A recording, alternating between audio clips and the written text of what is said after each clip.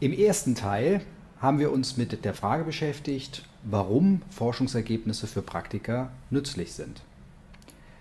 Wir hatten verschiedene Vorurteile gesehen, die man gegenüber Forschungsergebnissen und Wissenschaft haben kann.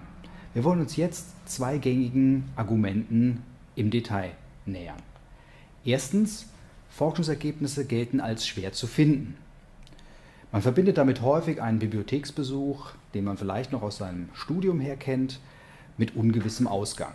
Zweitens, wenn man etwas gefunden hat, ist es vielleicht schwer, die Inhalte tatsächlich zu verstehen. Wenden wir uns zunächst dem ersten Thema zu. Wissenschaftliche Forschungsergebnisse gelten als schwer zugänglich. Dies gilt heute in Zeiten des Internets nicht mehr. Man kann sich relativ einfach wissenschaftlicher Suchmaschinen wie beispielsweise Google Scholar bedienen. Wir greifen zurück auf das Beispiel der zusammengesetzten Teams und hier insbesondere die Frage, ist Geschlechterdiversität vorteilhaft für die Zusammensetzung von Teams? Im ersten Schritt müssen Sie den richtigen Suchbegriff finden. Es geht uns hier um Team und Diversity, deshalb Team Diversity. Sie finden eine Vielzahl von unterschiedlichen Artikeln, von wissenschaftlichen Quellen, die sich mit diesem Thema auseinandergesetzt haben. Zweitens ist es wichtig, einen sogenannten Ankerartikel zu finden, also einen Artikel, der wirklich zentral ist für die Themenstellung.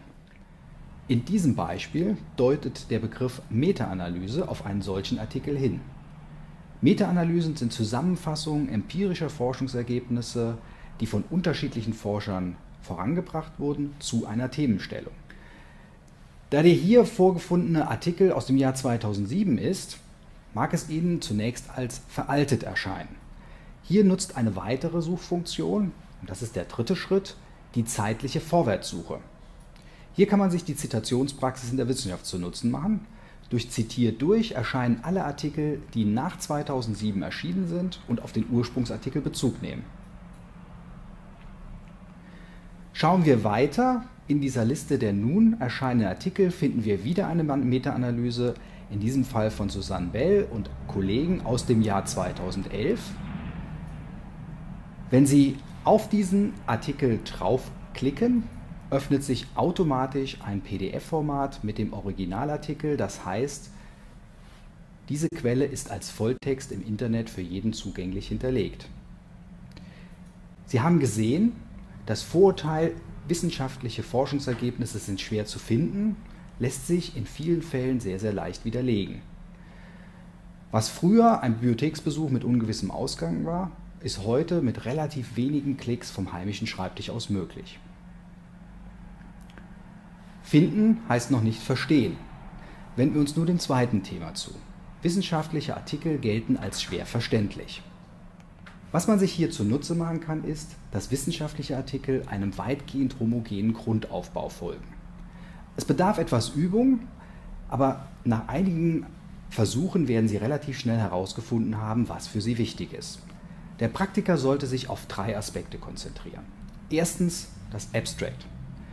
Es handelt sich da um eine relativ kurze Beschreibung, was überhaupt untersucht wird und zu welchen grundsätzlichen Ergebnissen man kommt. Das sollte innerhalb von zwei Minuten möglich sein zu lesen und damit ist eine Bewertung möglich, ob Sie überhaupt auf dem richtigen Pfad sind.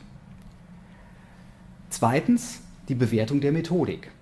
Mit welchen Instrumenten sind die Forscher zu dem Ergebnis gekommen, das später präsentiert wird?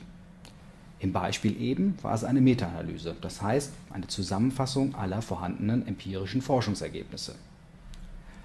Der dritte Schritt ist dann der Blick auf die tatsächlichen Ergebnisse.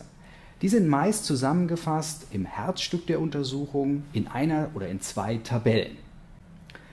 Sie sehen daran, wenn Sie sich auf diese wesentlichen Aspekte konzentrieren, sind Sie nicht frustriert, weil Sie nach zwei oder drei Seiten das Gefühl haben, dass Sie von der wissenschaftlichen Sprache irritiert werden. Schauen wir jetzt noch etwas detaillierter in die Ergebnisdarstellung hinein und gehen wieder zurück auf den eben schon gefundenen Artikel von Susanne Bell. Dort ist das Ergebnis in einer Tabelle zusammengefasst. Wenn Sie dort draufschauen, werden Sie feststellen, dass Sie erstmal verwirrt sind von griechischen Buchstaben und einer Vielzahl von Zahlen.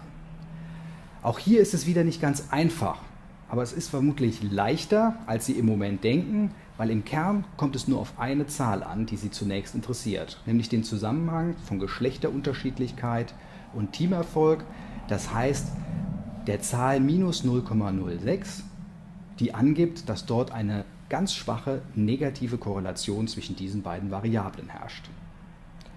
Im Ergebnis haben Sie gesehen, dass mit relativ wenig Aufwand Forschungsergebnisse zu finden sind und mit Auffrischung des Methoden und empirischen statistischen Wissens auch eine Interpretation dieser Ergebnisse möglich ist.